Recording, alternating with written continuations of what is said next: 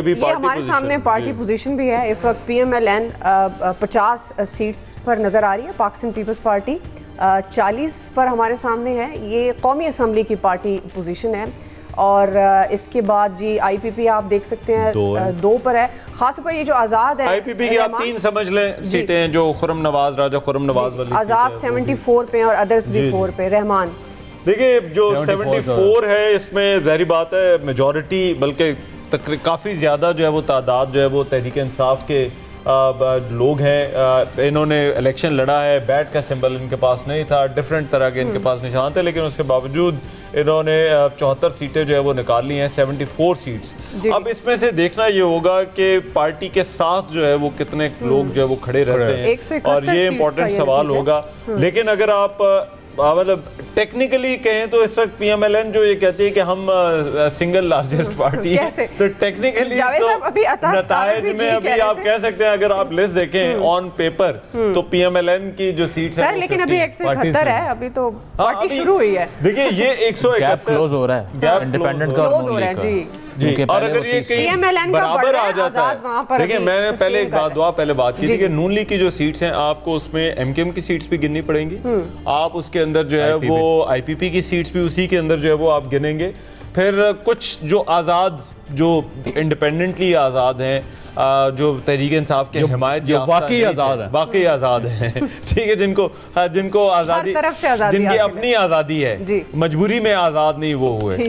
तो वो जो है वो भी नून लीग के जो है वो सीट्स हाँ। आप उनको कह सकते हैं वो रबते शाबते जो है वो शुरू हो सकती तो मेरा ख्याल है नून लीग का जो एज एन अलायंस लड़ने का था तो वो आपको हम्म। एक डिफरेंट नंबर जो है वो देगा हुकूमत साजी जब साहब अभी फिफ्टी नून लीग क्योंकि वो तो सादा अक्सरियत की बात करें लेकिन अभी वन सेवेंटी वन ये नशस्तें हैं जिनका ये नतीजा है। तो वो जो एक प्रडिक्शन हो रही थी 80 प्लस कोई कह रहा था 60 प्लस ऑल दो नून लीग तो कह रही है ना कि हम 100 प्लस पर जाएँगे। आपको क्या लग रहा है नून लीग का क्लेम ये है कि 100 क्रॉस करके शायद 112 सीटें उनका अपना तखमीना ये है। और लेकिन ये जो ट्रेंड है क्योंकि अब बहुत ज़्यादा मेरा नहीं ख्याल के सीट्स बची हैं एक सौ इकहत्तर सीट्स का ये है तो 80 तक जाके ना मेरा ख्याल है 30 से एक सीटें और इनके साथ ऐड हो जाएँगी। और पाकिस्तान पीपल्स पार्टी अगर 50 तक चली जाती है क्योंकि उनके मैक्सिमम पाकिस्तान पीपल्स पार्टी के हल्के जो वो क्लियर कवर हो चुके हैं इसमें। हम्म, हम्म। तो फिर एक इतिहाद जो है अस्सी ये और उसके बाद ये फिफ्टी ये ले लें और उसे 130 लोग हो जाएँगे और उसके बाद फिर जो मखसूस सीटें हैं वो शामिल करके फिर ये गवर्नमेंट बनाने की पोजीशन में हो जाएँगे। अब आसफ अली जरदारी साहब का एक कमाल होगा कि वो जो आज़ाद उम्मीदवार है हम्म। कितने खींच सकते हैं और वो खींच लेंगे बहुत ज़्यादा। उनमें ये सलाहियत उनके उनका ये सलाहियत ये अभी बात कर रहे थे रहमान जावेद साहब मुजम्मिल हम ख्वाजा की सीट की ये N A seventy one Sialkot तो जीत गए हैं। जी ख्वाजा दाद देनी चाहिए ख्वाजा साहब के अगेंस्ट जो हाँ। रेहाना ने इलेक्शन लड़ा है क्योंकि एक्स डिफेंस मिनिस्टर हों एक्स फॉरेन मिनिस्टर हों एक पार्टी का बड़ा सेंट्रल मेंबर हो एक आदमी। और काबीना का कंसिस्टेंटली हिस्सा रहा over the period of two decade और दो नस्लों से लेकिन अगर मैं इसमें मुजम्मिल एक चीज़ आप देखिए ये फैक्टर आपके अगेंस्ट भी जा सकता है और ख्वाजा आसिफ के हल्के में ये फैक्टर थोड़ा सा है कि 93 से एक ही पार्टी है। एक ही कैंडिडेट है वो मुसलसल जो है वो जीती जा। रहा है। तो ये कई दफ़ा आपके अगेंस्ट भी चला जाता है उनके फ्रेश फेस को जो अठारह में अठारह का जो इलेक्शन था ना उसमें इसी उस्मान डार तभी तो बहुत नज़दीक आ गए थे। तेरह के इलेक्शन में इनका डिफरेंस ज़्यादा था। लेकिन अठारह के इलेक्शन में तो उस्मान डार तकरीबन तकरीबन जो है वो ख्वाजा आसिफ के साथ जो है वो पहुँच गए थे। इसीलिए इसीलिए ये कहा जा रहा है ना कि एक पाबंदी होनी चाहिए कि एक शख्स कितनी बार इलेक्शन लड़ सकता है क्योंकि हम्म। तमाम पार्टीज़ के अंदर बहुत सारे ऐसे लोग हैं कि जो अपने हलकों में नहीं जाते उनको पता है कि जब भी इलेक्शन होगा पार्टी हमें टिकट भी दे देगी। और हम जीत भी जाएँगे और उसके बाद हम मिनिस्टर भी बन जाएँगे। तो हर पार्टी के अंदर ऐसे बहुत ज़्यादा लोग हैं जो हल्कों के ऊपर तवज्जो नहीं दे रहे उसकी मेन रीज़न ये है कि उनको इनसिक्योरिटी नहीं है तो अब ये सोचा जा रहा है और हर जगह पे इसके बारे में ज़िक्र करना शुरू कर दिया गया है और फैसल वाड़ा पहले शख्स है जिन्होंने इस, इस बात को इस पॉइंट को उठाया अब हर जगह पे वो पॉइंट कंसिडर किया जा रहा है कि एक आइन के अंदर तब्दीली होनी चाहिए कि कितने इलेक्शन एक बंदा लड़ सकता है ताकि फ्रेश लोग वहाँ पे आएँ अगर हल्कों के अंदर इस तरह अथॉरिटी क्रिएट हो जाएगी तो वहाँ पे तो डेवलपमेंट नहीं होगी। बिल्कुल। हम्म। अच्छा लेकिन एक और नतीजा एक और नतीजा हमारे सामने है वो अनाउंस करते हैं फिर मैं आपकी तरफ़ आती हूँ। ये N A one five eight बिहाड़ी का ये नतीजा है। आज़ाद कैंडिडेट ताहिर इकबाल जीत जी ताहिर इकबाल चौधरी बिहाड़ी से दौलताना साहिबा बिल्कुल ये तहमीना साहिबा लास्ट टाइम तो कंटेस्ट कंटेस्ट हम्म। करने भी नहीं आई थी मैदान में। इतना आउट नंबर था असल में। ये हल्का इनका दौलताना साहिबा का जी लेकिन ताहिर इकबाल साहब ने अपसेट हो सकते हैं नहीं बिल्कुल नहीं? क्योंकि पिछले तीनों इलेक्शन ताहिर इकबाल साहब ने जीते हैं यहाँ से और दौलताना को विहाड़ी सिटी से ऑलमोस्ट निकाल दिया। पहले ये काफ लीग में भी रह चुके हैं फिर नून लीग का हिस्सा बने फिर बाद में जनूबी पंजाब महाज बना उसका हिस्सा बने। और इस बार इंडिपेंडेंट गए हैं तो इनके लिए भी कैंपेन काफ़ी मुश्किल रही हल्के से गायब रहे। लेकिन एक्सपेक्टेशन यही थी कि बड़ी लीड से जीतेंगे क्लोज है फिर भी और मियाँ साहब इनको टिकट भी नहीं दे रहे थे तमीना दौलताना बिल्कुल अच्छा सोशल मीडिया पर एक खबर आ रही है मियाँ साहब शायद तकरीर भी करें कोई पाँच साढ़े पाँच वैसे ये लेकिन इसको वेरीफाई करके कल भी देखें वो अतात से बात कर रहे थे तो वो जो है वो कल भी जो है वो बहुत लेकिन वो अतातार ने उसकी बड़ी तरदीद की। उन्होंने कहा कि नहीं मियाँ साहब को कोई ऐसा इरादा नहीं था विक्ट्री स्पीच करने का। वो वो वैसे तो, रूटीन में रूटीन में अपने जो है वो अहबाब के साथ जो है वो हाँ, इकट्ठे होकर शहबाज शरीफ साहब से शरीफ साहब से सवाल हुआ ना वोट को इज़्ज़त होगा मतलब क्या? उन्होंने कहा कि जो आपको वोट दे उसकी इज़्ज़त करो। नहीं अगर मैं हो सकता है मियाँ साहब ने सोचा हो कि अगर अगर माहौल बन गया तो करनी पड़ेगी तो शायद के लिए आपको लग रहा है मियाँ साहब माहौल बनता हुआ देख रहे देखिए अगेन वही कि जब तक रिजल्ट्स कंक्लूड नहीं होते नहीं कहा जा सकता क्योंकि अगर आ, कोई ख़ास पावरफुल तरीके से नो लीक ना आई तो फिर मियाँ नवाज़ साहब चाहेंगे कि उनकी जगह कोई और प्राइम मिनिस्टर बने क्योंकि उनकी पहली शर्त ये थी कि सिंगल लार्जेस्ट पार्टी होगी तो मैं प्राइम मिनिस्टर बनूँगा। और अगर वो नहीं होते तो फिर उनके पास दो ऑप्शन है एक मियाँ शवाज शरीफ हैं जो विलिंग है इसके लिए। दूसरा ये है कि वो अपनी पार्टी में से किसी और को जैसे शायद काकाना बासी साहब थे उन उनमें से उस टाइप का कोई और आदमी आगे ले आए जिसमें एस एन इकबाल साहब का नाम भी पार्टी के अंदर गर्दश कर रहा है कि अगर मियाँ नवाज़ साहब उसमें से ले आते हैं तो फिर मेरा ख्याल है कोई एक फेस सेविंग हो जाएगी।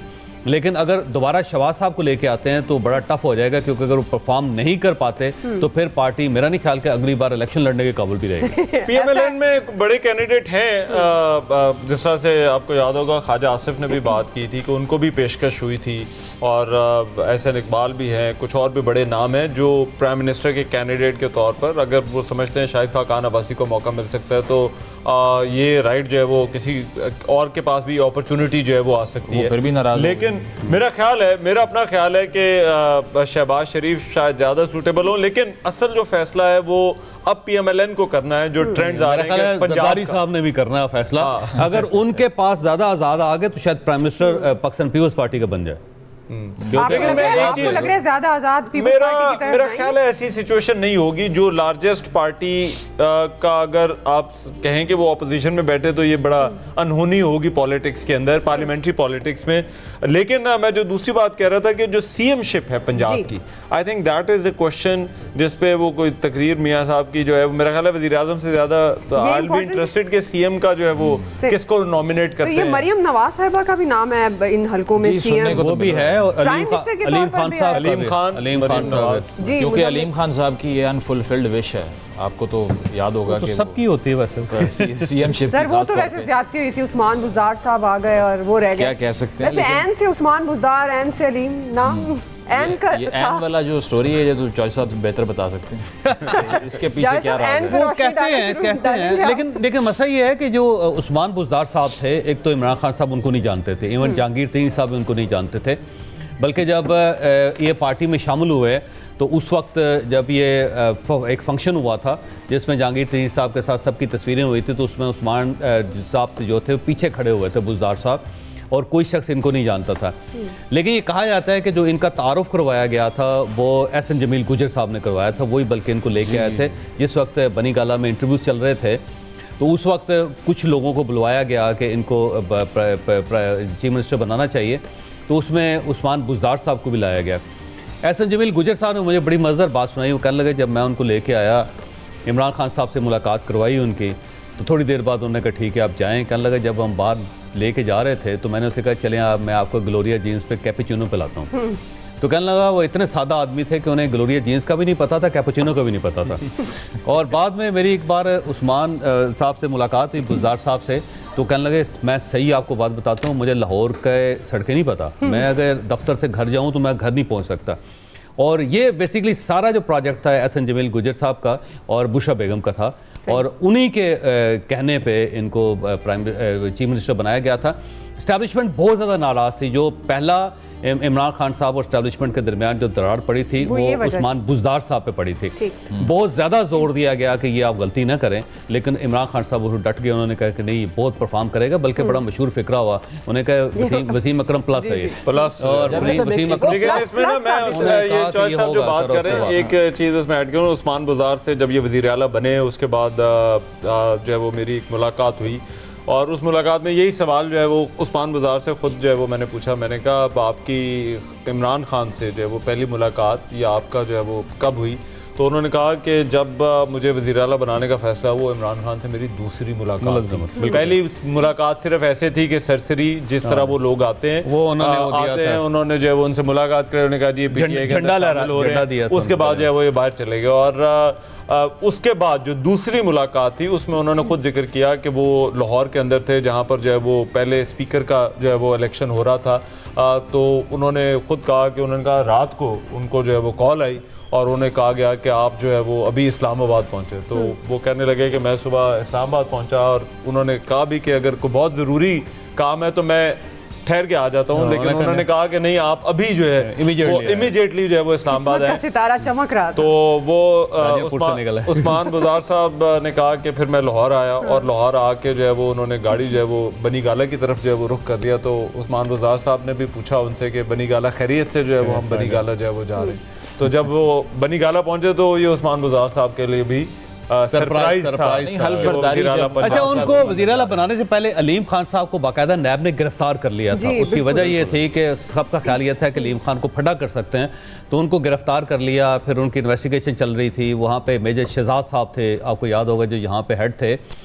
बल्कि अलीम खान साहब ने मुझे खुद बताया कि मैं उनके कमरे में बैठा हुआ था तो टिकट चल रहे थे कि उस्मान बुजार साहब को चीफ मिनिस्टर बना दिया गया है। नामजद कर दिया गया।